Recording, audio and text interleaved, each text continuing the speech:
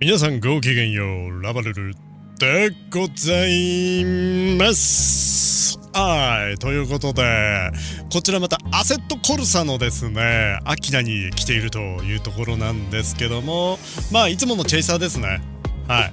ちらの方乗っておりますけども、まあ私、ユートラばっかりではなく、アセットコルサで、まあ峠だったりドリフト練習だったり、首都高を走ってみたりっていうね、アセットコルサの、えー、とドライビングの技術も私結構磨いているというところでですね、アセットコルサの、まあモッド紹介、ないし設定の紹介、画質設定などね、そちらの方の紹介もしてくださいというコメントがですね、結構多々来ておりますので、そちらの方もね、本日からシリーズでちょっとやっていきたいと思います。まあね、アセットコルサはですね、あの、ユートラと違いまして、本当にドライビングシミュレーターなので、オープンワールドではなく、あの、シミュレーターとなっておりますので、結構難しいところがあるんですけども、まあ、わかりやすくご紹介していけるようにやっていければなと思っております。はい、ということで、アセットコルサっていうものはですね、このような車をいろいろですね、こちら鈴木あるとございますけども、このようなシビック、昔のシビック ですね、これ SI。86年型のシビック。で、こういう、まあ、いろんな車をですね、選んで、コブラもあるんですよ、皆さん、これ。すごいでしょ。アキラのインテグラ、NSX。で、皆さんよく知ってるような車も、えーモッドで入れたりして乗れちゃうんですよ。例えばこれ、匠藤原トヨタって書いてありますけど、86っすね。イニシャル D 仕様のこちらの86。いろいろあるんですけどね。これとか、これとか。いろんなモッドが出てるんで。で、例えばなんですけど、こうやって86を選んで、えー峠をですね、これ、秋名にしましょうか。秋名ダウンヒルと書いてありますけども、これで OK して、こうやってローディングするとですね、秋名ですね、皆さん、これし、あの、最初のスタート地点有名なカラーポイントありますけども。で、これに関して言うと、ドライバーもちゃんと藤原拓海くんになってると。で、もうこれファイナルステージの方の、えー、トレノですね、86、ちゃんとライトもついてて、ウインカーも出せるようになってると。で、これはちょっと MOD によってなんですけども、えーハザードとかもたけたりするんですよね、これ。ハザードですね、はい。で、これでですね、なんと、アキナを走れるということになってんすよ。もうこれはもうアニメの世界みたいなね、実写のアニメの世界みたいな感じで走れちゃうということになってるんですよ。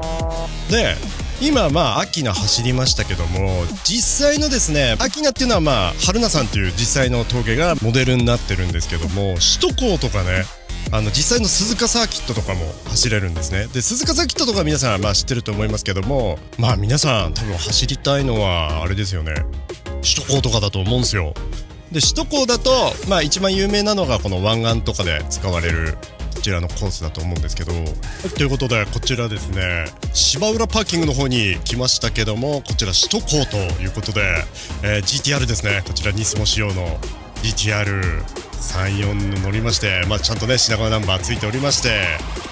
で可愛い女の子が乗っているということになっておりますけどもこのような感じで GTR に乗って夜の首都高を走れちゃったりするわけですよ。まあ私結構あの首都高のねあの練習配信なんてやってますけどもかなりのあのリアリティなんですよ。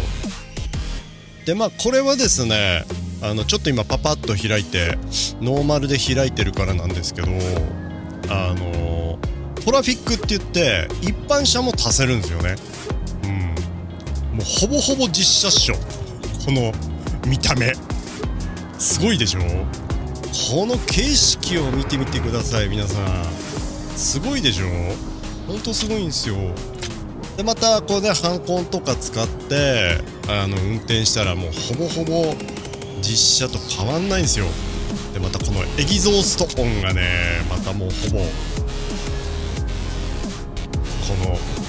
のローフバルブの音。いいでしょ？まあこの見てくださいこの景色。すごいでしょ本当に。でこれがですねあのーアセットコルサレーシングシミュレーターと言われるゆえんでオープンワールドではなくマップをですねちゃんとあの読み込んでそのエリアをあの選んだ車で走れるというのが、まあ、ユーロトラックシミュレーターとかとちょっと違うクエストがあるわけではなくその場所を再現してあの現実にの世界に合わせるような感じで自分で作れちゃうんですよね、まあ、画質設定等々ありますけどもそれがレーシングシミュレーターと言われるゆえんでございますね。何か目的があってねクリアするとかではなくそのシチュエーションを再現してそれで楽しむと。レースとか練習とか走り込みとかして楽しむと。いうのがですねまあ醍醐味ということになっております。はい。ということでまあ早速なんですけども今日はねアセットコルサを始める時に必要な工程ですね。はい。ご紹介していきたいと思います。ではでは早速。はい。ということで Steam 来ました、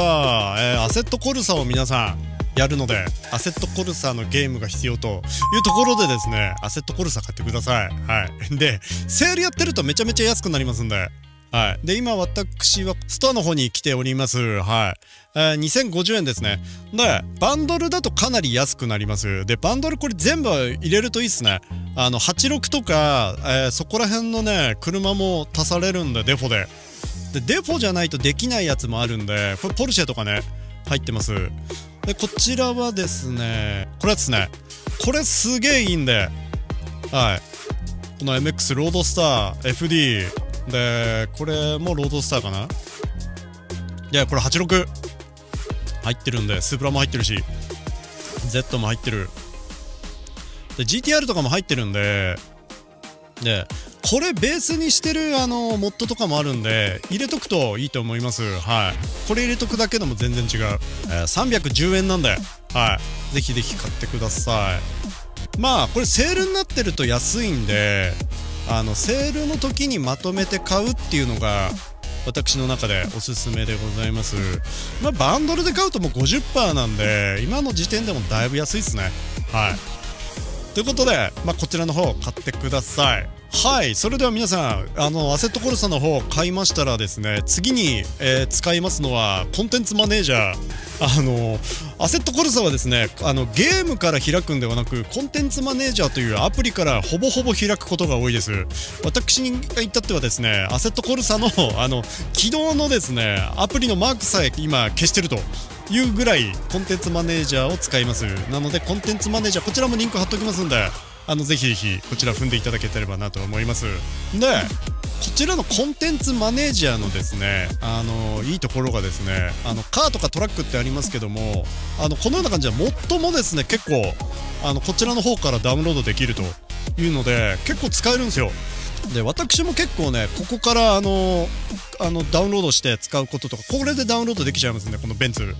はい。あの使えるそうなものねジャガーの X とかこういうものを、え、ダウンロードしてコンテンツマネージャーで導入できると。でトラックもありますのでこちら上の方にトラックってございますけどもこちらトラックやると、えー、群際峠とか結構有名なものがバーって出てきますんで、はい、こちらの方ねぜひぜひあのほとんどのものが出てきます。箱根ですねこれね。はいほとんどパイクピックとかもありますんで、はい、ぜひぜひもうこんなにいっぱいあるんですよ。まあこういうのをねご紹介してきますんで、はい、皆さん楽しみにしてください。でコンテンツマネージャーですね。下の方にゴリっていきますとえー、ダウンロードのリンクございます。で上の方ライトバージョンと書いてあるものが、えー、っと無料版になっております。ライトバージョンでで下の方にこれフルスペックのフルバージョンというものがございます。でストライプとか使えますんでこちらクリックしますとえー、5ドルっすね。5ドルでいけますんであの私はフルスペ買ってます。はい。5ドルめっちゃ安いんではい。あのここは投資してください。あのまあ小学生とかねあのお金かけらんないって方はライトでもいいんですけどもあの設定の項目とかいろいろですね。後であの画質設定とかでやっぱりフルスペ必要になってくるんでフルバージョンの方あの買うのがおすすめでございます。でどうしてもない方こちらの方ダウンロードしてください。でダウンロード終わりましたらそのままインストールしてしまってください。はいとそうしましたらコンテンツマネージャーをですねダウンロードしまして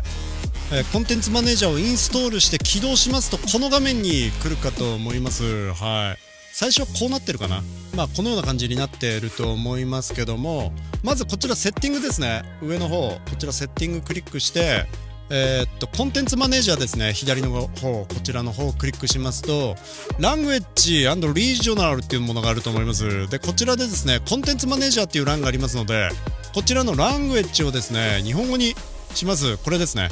はい。日本語に設定しますと、えー、こちらでリスタートっていうものがございますのでこちらリスタートします。はい。でリスタートしますとこちらの方がねあの日本語に変更されますのでコンテンツマネージャーが日本語でできるようになったということになっておりますでまあコンテンツマネージャー開いたらですねとにかくですねまあいろんな設定ございますけども、えー、アセットコルサのビデオ設定でこれ画質の設定とかできるんですよ。1画面とか。もう全てここで設定を行っていきますのではい。こちらの方の設定ですね。皆さんこちょこっとまあ私の設定をですね今度まあご紹介したりとかしていくと思うんですけどもこちらであのステアリングとかのアクティベートしたりとかっていうのができますね。これコントロールってところで。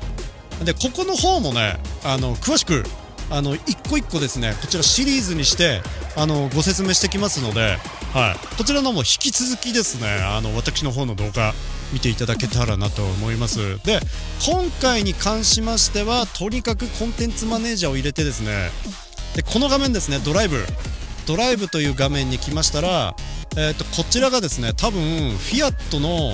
多分こんな感じになってると思うんですよ。フィアットかなんかまあこれアバルトですけどもフィアットででモンツァかなんかだったと思うんですよ。でこれでですねとにかく、えー、GO ですね。あの練習こちら練習になってるのを確認して GO のボタンこちら私のここ アバターの横ですね。GO をクリックしてもらいます。でそうしますとこちらのですね GO を押すとあのウェイティングっていうのが出てこちらに今起動しておりますんで。はい。で基本的にこの画面になったら起動成功になります。はい。起動成功しておりますのでこちらのステアリングのボタンですね。こちらの方をクリックしますと走れるようになっているということになっております。はい。どうです？皆さん。すごいでしょう。こんな感じで。はい。でまあこれもですね皆さん最初からこのような綺麗な画質にはなってないと思います。であのこちらのですねイニシャル D のようなまあイニシャル D のものなんですけどもあのタコメーターとかこういうねあのものを追加していけると。でここにねいろいろ出てきますけどもこういうものでいろんなものがね追加できるようになってるのがこのアセットコルサシミュレーターですね。シミュレーターのいいところということになっております。でまあハンコンとかね最初あのまだ設定教えてないのであれなんですけどもキーマウとかあとはジョイコンですね。あのコントローラーとかでやると思うんですけどもまあこの画面来れたらとにかく1回はですね走ってみましょうと。ああいい音。気持ちいい。いやー皆さん見てみてください。めっちゃ気持ちいいっすよこれ。これボンネットしてんね。こうやって視点も変えられるんだ。よいやいいっすよねこれ。これマップとかも出せるんですよ。私がちょっと出してないだけでね。あのサーキット走る時とかもまあ最初はちょっとこうマップ出して走るっていうのがまあいいっすよね。はい。こうやってねあのハンコンとか入れるとこのヒールトゥーの練習とかもできますんだよ皆さん。こういうのをまあやりながらですねあの練習していくと。でこの雲の表現とかもピュアっていうね天気を変える MOD っていうものがございましてそれを入れるとですねこのような感じで天気とかあの光のこの調整ですねめっちゃ綺麗にしていけるんですよ。でそれでやるとねめっちゃ気持ちいいんではい。そちらの方をね入れてぜひねアセットコルサ楽しんでいただければなと思います。はい。でまあこれですね。走ってまして戻りたい時エスケープボタンを押して Back to Pit ですね。こちらの方を押したらですね Back to Pit こちらバックのあのピットの方に戻れるということになっておりましてでこのままあのこちら電源ボタン消すかもしくは EXIT こちらの方を押しますとですねコンテンツマネージャーの方に帰ってこれると。でこちらのリプレイクリックしますと今走ったリプレイ画像が見れるんでリプレイ。インストールではないけども起動ゲームが起動されましてはい。こちらのリプレイ画面になるということになっております。でこちらのリプレイを下の方でですねこうやって見ていくとはい。このような感じですね、はい、私が走ったものででカメラとかもちゃんとこうやってかこれカースね。カメラもこうやって変えられるんではい。好きなカメラで自分の走りをチェックするということになっております。こんな感じねで写真も撮れちゃいますんでこれフォトモードっていうのがあってこれで写真も撮れたりできますんで。でこれも後日あの詳しくやっていきたいと思いますんで楽しみにしていただけたらなと思います。はいということでコンテンツマネージャーの方に戻ってまいりました。はい。本日はですねアセットコルサの購入から、えー、コンテンツマネージャーの導入ですね。ところまで、え、やってきました。はい、でここからおいおいですねいろんなモッドを入れてあの楽しんでいくっていうところをやっていきたいと思いますんで、まあ、次ハンコンの導入の仕方とかねあのハンコの使い方ですねあのご紹介していきたいと思いますので皆さんねぜひアセットコルサ始める方はですねこのチャンネルチャンネル登録してあの高評価もねしていただいてあの知識をね養っていっていただければなと思いますはいというわけで皆さんねアセットコルサの方本当にあのシリーズで今後やっていきたいと思いますのでそちらの方の動画でお会いいたしましょうじゃあみんな愛しちゃるぜ